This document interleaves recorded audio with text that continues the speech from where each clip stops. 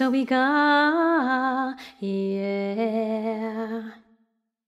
One happy birthday dot com.